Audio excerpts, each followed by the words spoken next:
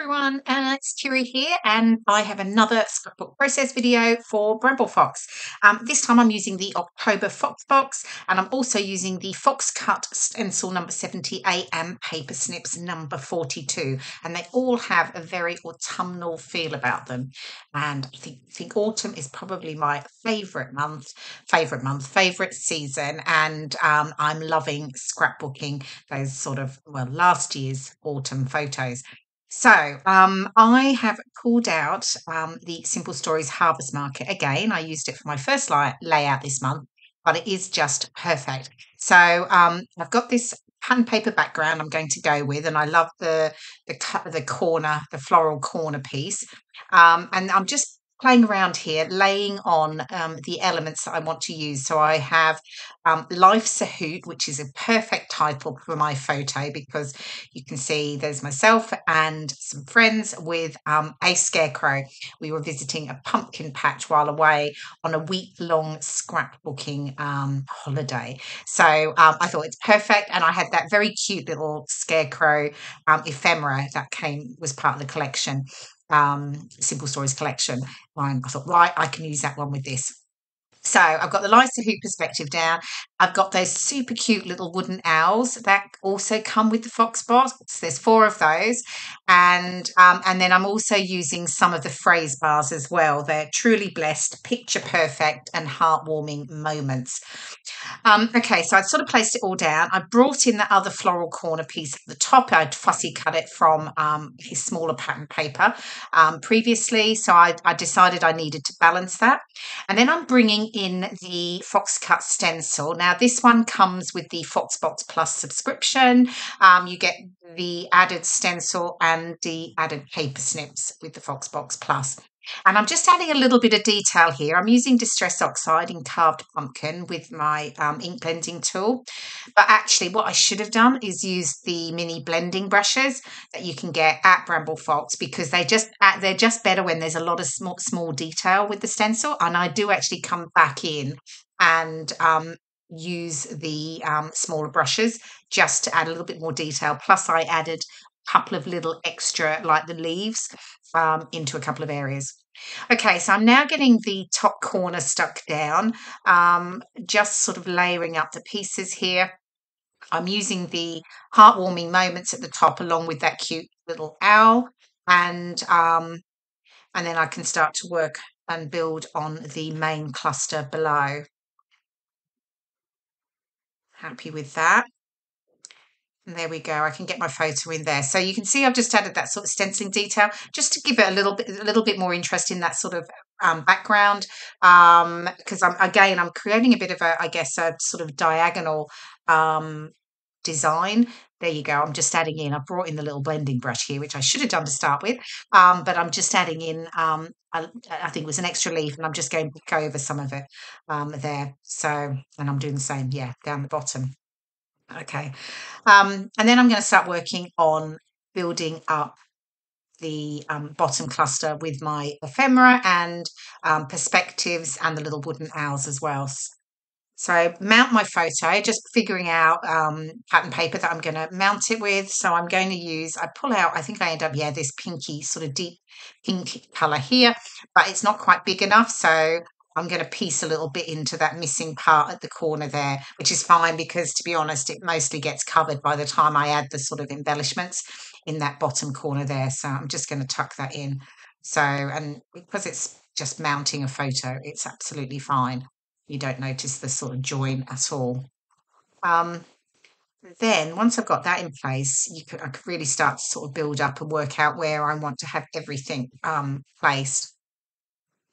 But I do love, um, as I said earlier, I do love autumn, and it's it feels it's just that really sort of cozy season. I think um, I love all the colours that go with it, the deeper oranges, the mustards, the teals, um, just those sort of you know you come out of summer, which is very bright and tropical colours, and then you move into that autumn, and it's a really nice to have that change. So I've really really loved um, sort of starting to work with um, these autumn themed perspectives and colours again. So um, in that photo, as I said, it was at a pumpkin patch. It was really fun, actually. Um, I go away each year with, there's eight of us that go away, um, and we hire a lovely uh, sort of old barn, and we have loads of room to scrapbook, and we have a whole week there.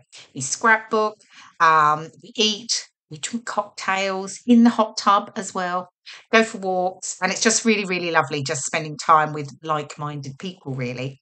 And there, and um, we decided we'd go out and find. We found a pumpkin patch fairly local, and I tell you, I don't know what they must have thought when eight grown ladies turned up to this pumpkin patch, going mad for like photos. Can you take a photo of all of us? They must have thought, my goodness me, what, what on earth are they doing? But we had lots of fun. We took lots of photos. Um, and yeah, so nice to look back on that from last year um, and look forward to going away again this year because um, we are doing the same thing again um, this year um, in October. So, you know, definitely looking forward to to catching up with my scrappy friends and doing lots of um, booking through the week. Okay, so where am I? So I'm starting to get things stuck down there. I was just trimming off the white borders around some of the ephemera pieces in the Simple Stories collection, only because I'm just not a fan of that really wide white border. It's really personal choice. So I tend to just um, trim it down a little bit and leave just a narrow white border. So I've done that with those sunflowers and I'm just doing that with the little the scarecrow and I'm now um, just adding some foam pads to the back so I'm raising um, the scarecrow up. Again, just to add some sort of some dimension um, onto my layout, which I do always add. It is something that is pretty normal technique for me, is definitely getting di- dimension and texture in there. Now I've got these cute little acorns, the two of them, but they both say hello.